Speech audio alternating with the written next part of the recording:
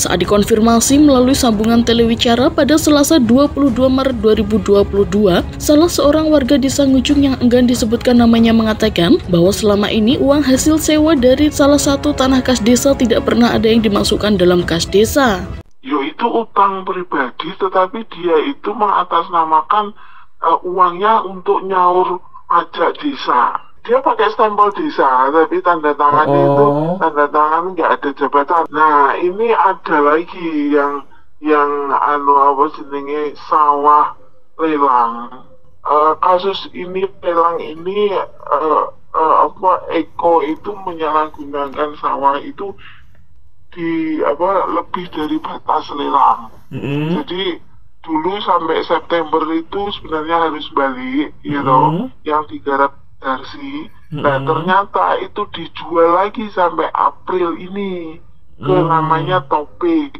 Ya mm-hmm. jadi di dibeli Darsi, Darsi dijual ke Topik.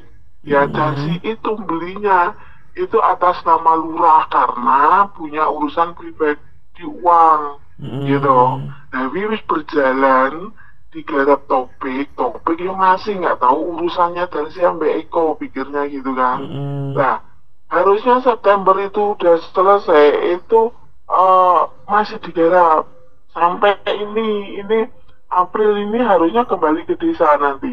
Nah proses eh, apa kasus itu sudah didium sama masyarakat.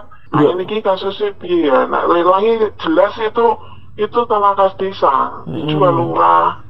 Dijual selama? Ya sudah lewat lelang, masa lelang sudah selesai sampai September 2021 tanpa prosedur oh, lelang. prosedur lelang kan iya, gitu harusnya kembali dulu hmm. ya mau kok beli lagi mau oh. gitu kan tapi nggak oh, oh. ada uh, uh, jadi desa itu berarti di anu toh ya ya korupsi lah masuk oh.